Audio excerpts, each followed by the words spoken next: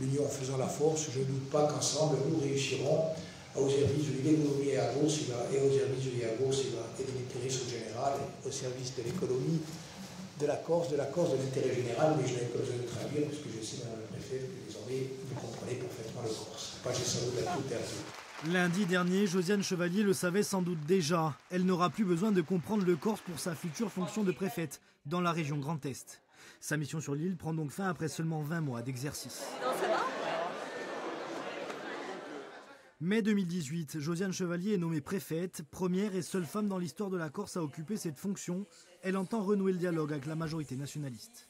Moi, je viens avec un état d'esprit positif, peut-être pour tourner une page. Ses premiers pas en tant que préfète de Corse sont rythmés par les visites ministérielles dans le cadre de discussions sur la réforme constitutionnelle. Relais naturel de l'État, elle se montre rapidement omniprésente sur bon nombre de dossiers comme les paillotes, le paduc ou encore les fraudes agricoles, trop présentes au goût des nationalistes. En mars dernier, elle est invitée à dresser le bilan des services de l'État devant l'Assemblée de Corse et renoue ainsi avec une tradition tombée en désuétude. Lors de son audition, elle est accusée par la majorité de faire de la politique contre les nationalistes. Je n'irai pas sur le terrain euh, du combat. Ce n'est pas mon terrain. Mon terrain, euh, c'est celui de l'apaisement et du dialogue que j'essaie de prôner depuis que je suis arrivée. Et franchement, ai-je une tête à tuer la paix?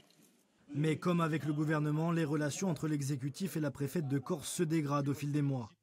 Josiane Chevalier n'hésite pas à critiquer la gestion des nationalistes, notamment en matière de déchets.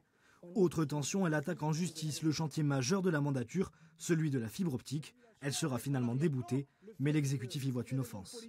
Ce recours, il est significatif d'une volonté de porter un coup bas à la Corse tout entière et à son économie et à son développement économique et social. Et ça, je ne peux pas et nous ne pouvons pas l'accepter. Au-delà du Tiamérisponde avec la majorité, ces derniers mois, la préfète de Corse a dû faire face à un regain de tension, notamment dans le domaine agricole au sujet des contrôles de la PAC.